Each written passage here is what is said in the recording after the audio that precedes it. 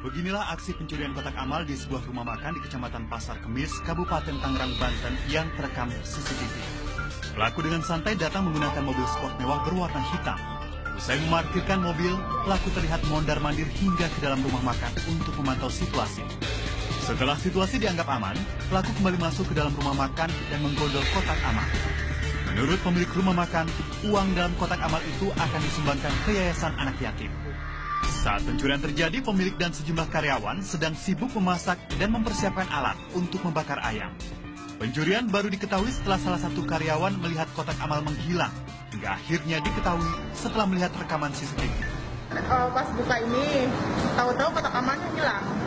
Saya buka CCTV, udah gitu aja kejadiannya. Sepi, uh, karyawan pada di belakang semua. Di depan sepi, belum ada yang karyawan, belum ada sibuk di dapur. Tapi emang ada ya karyawan yang tahu ya kalau ada mobil masuk sini itu. Ada yang tahu lihat yang tukang sapu itu, tapi nggak nggak curiga. Pemilik rumah makan telah melaporkan peristiwa ini ke Mapolsek Pasar Kemis untuk ditindaklanjuti. Mujib Latumairisa melaporkan untuk NET.